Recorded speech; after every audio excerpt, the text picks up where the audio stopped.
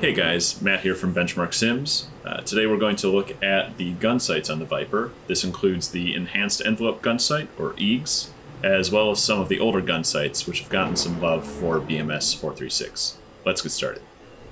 So, I'm in a Block 52 Viper, looking at the EEGS gun sight. Uh, this is the newest sight in the F-16, and you'll find it in the tall block Vipers, that is Block 40 and up, as well as some of the upgraded Block 30s.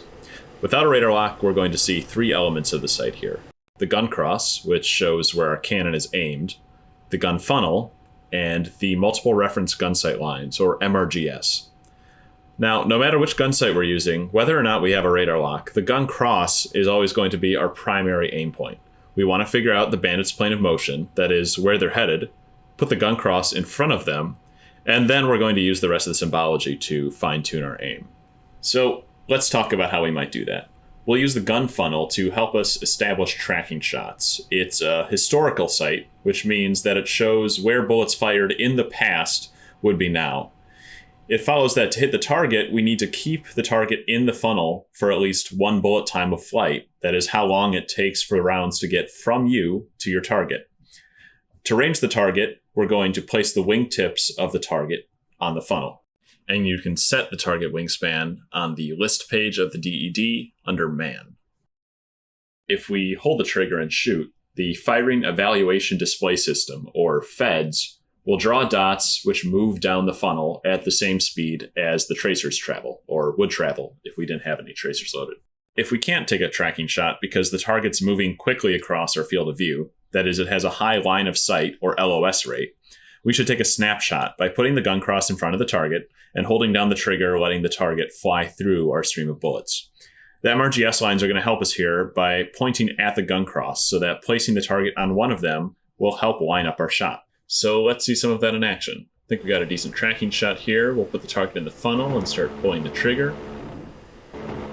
Got a couple hits, and we'll get a little closer using the gun cross as our aim point and finish him off.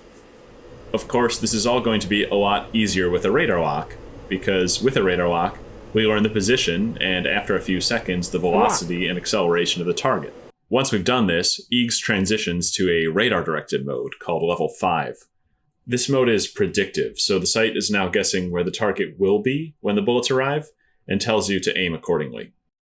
And now that we know much more about the target, you're going to see additional symbology appear on your HUD. The funnel's also going to line up with the target's plane of motion to help you pull into it. So the plus we see here is the 1G reticle. So if the target flies straight, this is where you should aim. The minus, on the other hand, is the max G reticle. So if the target pulls into you as hard as they can, up to 7.3G, this is where you should aim. The small circle that appears in between the two after a few seconds is the predicted reticle. So if the target continues their current flight path, this is where you should aim. That should be your usual aim point, and it also tells you how hard the target is pulling. So if this circle is closer to the plus, they're not pulling that hard. If it's closer to the minus, they're pulling more or less as hard as they can. The whiskers on either side of the plus show the target's out of plane maneuver potential. So if they were to roll onto their side and pull as hard as they could, this shows how far they could maneuver in that direction in the bullet time of flight. To avoid rapid jumps in the sight picture and to smooth out inaccuracies in the radar measurements, the sight has about a quarter second settling time. So this means that for it to be accurate, you need to either track the target with a pipper for one quarter second, or shoot one quarter second before the pipper arrives on the target. Again, aim first with the gun cross, then refine your aim with the rest of the sight. After you squeeze the trigger, a 6 mil circle will show the location of your burst as it reaches the target. So it appears when the first bullets arrive, and disappears when the last bullets pass by. Use this to refine your aim. Now, radar directed EEGS certainly has its limitations, some of which we've tried to model more faithfully in 4.36, but compared to any other gun sight, it gives you the most information and the highest probability of a kill. So put the thing on the thing and shoot them down.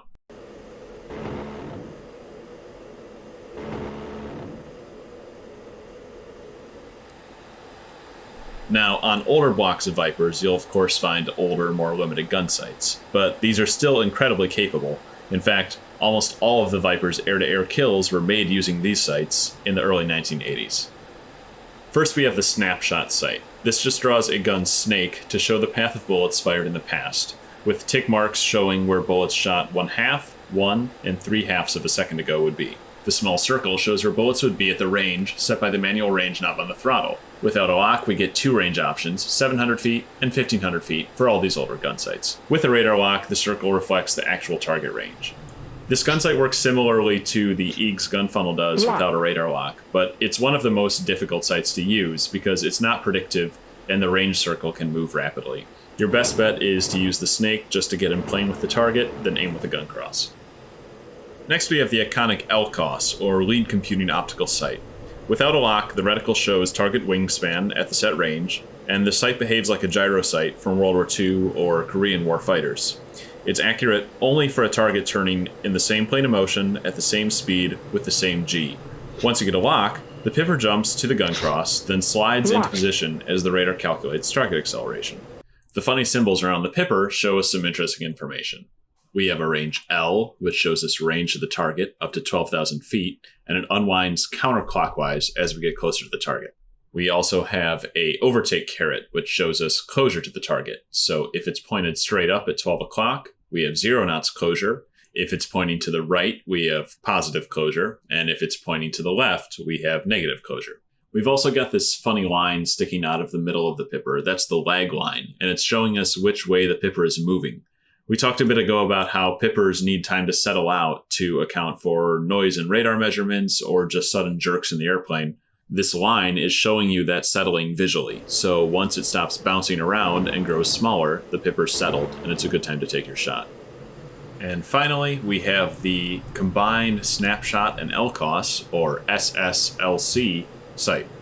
This just combines the Snapshot Sight's Gunsnake with the LCOS Pipper sans its lag line aim with the LCOS pipper, and then evaluate your shot using the snake. The snake should pass over your target as the bullets reach it. I hope you found that helpful, and if you need more information, you should be able to find it in the Dash 34 manual that comes with BMS 4.36. Have fun, and remember,